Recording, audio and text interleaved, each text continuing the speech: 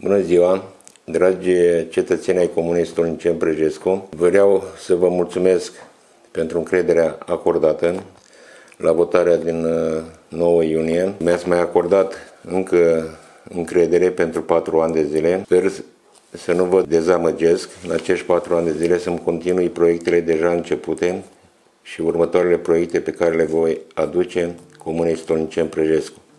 Încă o dată vă mulțumesc celor care ați avut încredere în mine și echipa mea de consilieri și celor care nu m-au votat. Sper să le câștig încrederea în acești patru ani de zile. Vă mulțumesc frumos!